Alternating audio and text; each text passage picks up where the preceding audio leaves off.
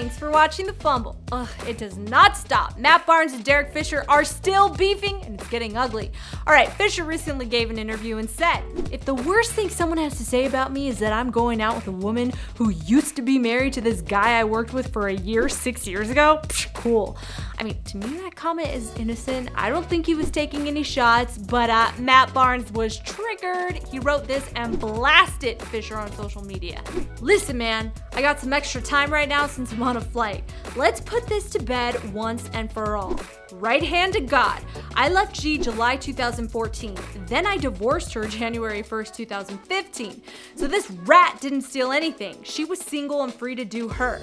Fast forward to October 2015, I got a call from one of my sons that this clown was at my house. So I went to check the situation out. After he caught the first right hand and hit the sliding glass door, people grabbed me and he ran through my house screaming, begging, and pleading to talk. That night, unfortunately, I didn't have time to talk. I had a lady friend at my condo in the marina waiting on me. Once I left, this man called my team at the time, Grizzlies, and told on me. He called the NBA and told on me. Then, when the cop showed up, he filed a restraining order on me. I did what any real man would do if a former friend slash teammate was at the house he pays for and didn't know about it.